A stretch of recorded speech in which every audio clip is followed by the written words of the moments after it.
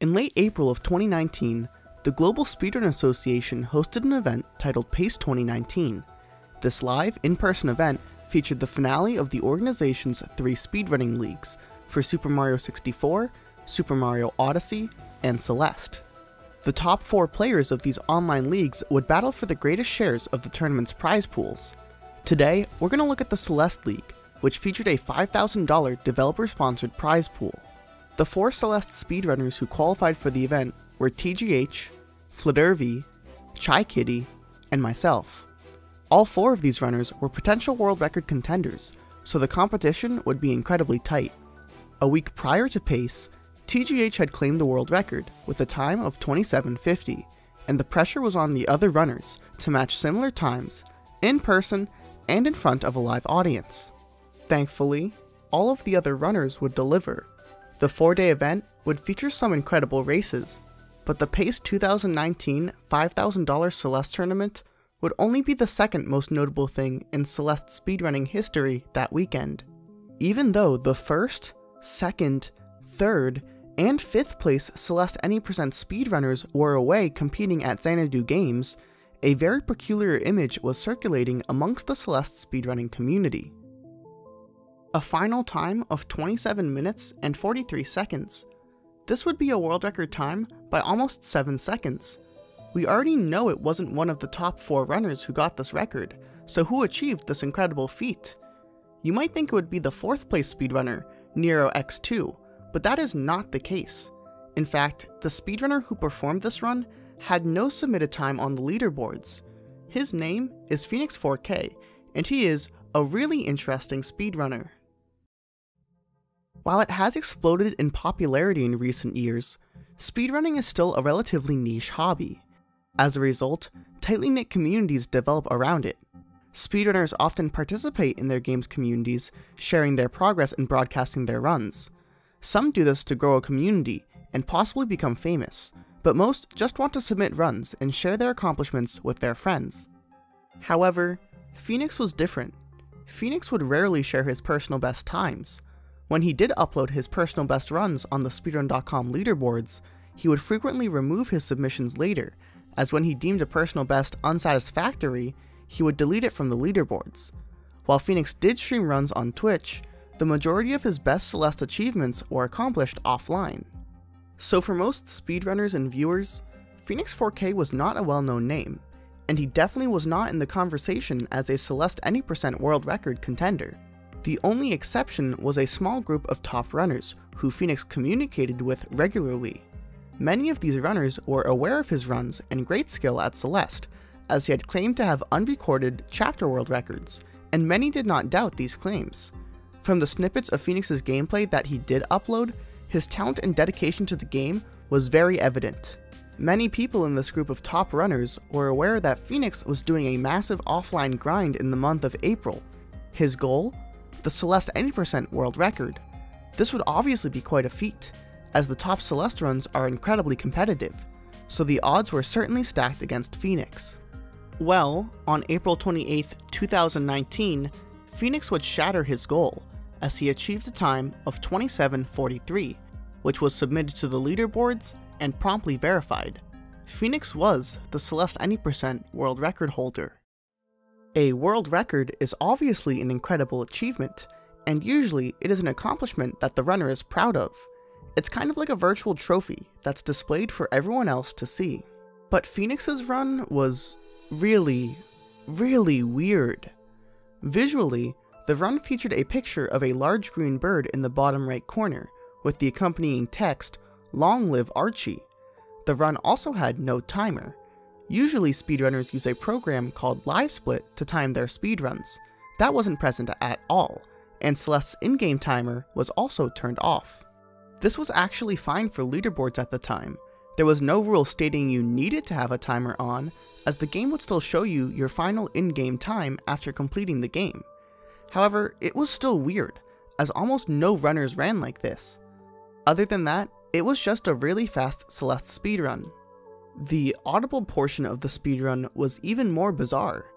The game audio was completely muted, and in its place was a variety of Grant MacDonald's Ram Ranch music. I'm not going to play this music at all here, since it is incredibly inappropriate, but you might recognize this music series for its iconic line of 18 naked cowboys. If you know the song, you know how out of place it would be for a world record speedrun. Of course, this speedrun was uploaded to YouTube, but with this weird speedrun comes a weird title, as instead of naming it something like Celeste Any Percent Speedrun in 2743, it was instead called Celeste 2 Berries World Record. Phoenix categorized the speedrun not by its impressive feat in the any percent category, but rather by the fact that it collects two optional collectibles. Just for the record, two berries is obviously not a category that Celeste speedrunners attempt to run. Needless to say, this is not a speedrun that would go in a virtual trophy case. To the average person, it appeared that Phoenix was not at all proud of this speedrun. Because of the oddities surrounding this run, and the general community's lack of familiarity with Phoenix as a top runner, some community members decided to further investigate the run's legitimacy. And after less than 24 hours of investigation, it was concluded that this run was illegitimate. So, how did they arrive at this conclusion? Well, Celeste has collectible red berries.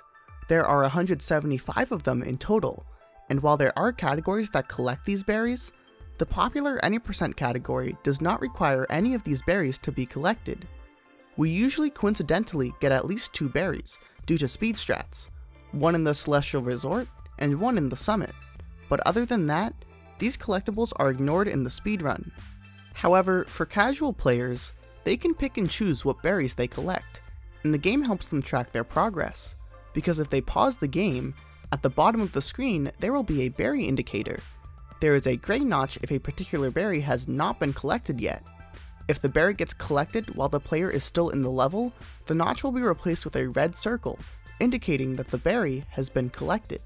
If the player were to exit the level and then re-enter from level select, the berry notch becomes a blue circle, indicating that the berry has already been collected in a previous session. In a speedrun, the runner will pause frequently in order to skip cutscenes. Specifically, at the very end of most chapters, the berry indicator will be visible as the player skips the final cutscene of the chapter. And for Phoenix's run, at the last chapter of the game, the summit, there was something interesting. Did you see that? Let me pause it for you. There are actually two discrepancies here. First, there's a blue circle on a completely random berry, not only is this a berry that Phoenix didn't collect in the video, but it is also highlighted blue, which means that it was collected in a previous session. And secondly, the berry that Phoenix did collect in the summit should be marked with a red circle, as it is on legitimate speedruns. However, even though the video shows Phoenix collecting this berry, there is still a gray notch in place of where the red circle should be.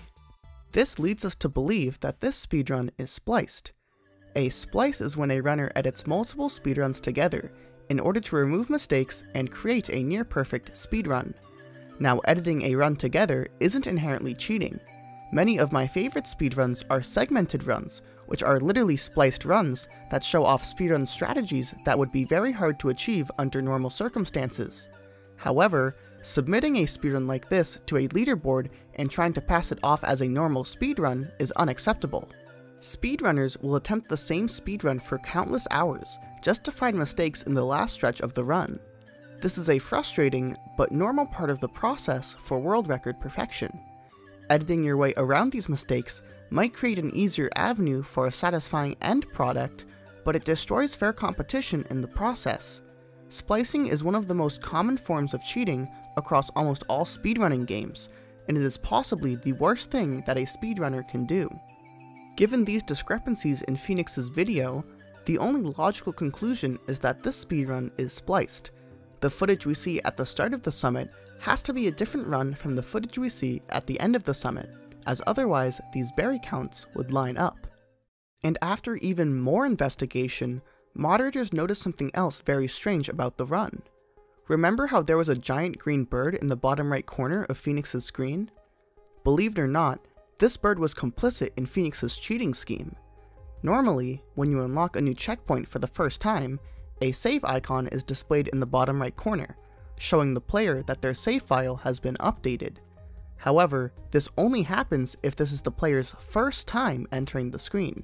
If a runner were to be splicing a speedrun together and they were on a save file where they had already beaten the level, the save icon would not be displayed. The fact that this portion of the screen was covered leads us to believe that this save icon did not appear when it should have at points in Phoenix's run.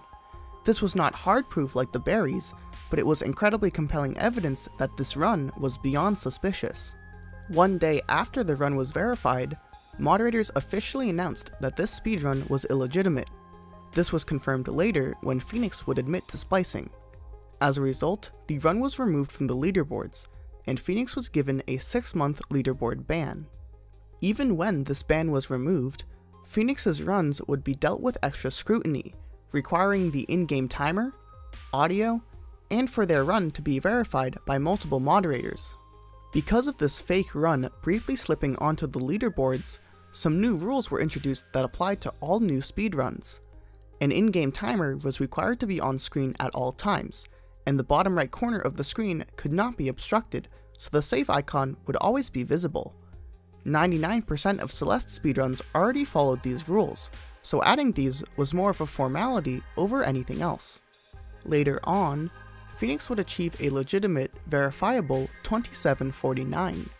Even though his ban has been lifted for many months now, Phoenix has not submitted this run, and it is unknown whether he has intentions to publicly return to Celeste speedrunning. Phoenix was undoubtedly a skilled speedrunner, but this event essentially ended his career as a Celeste speedrunner, and unlike an actual Phoenix, he would stay dormant and rest in the ashes of his cheated speedrun. Thanks for watching.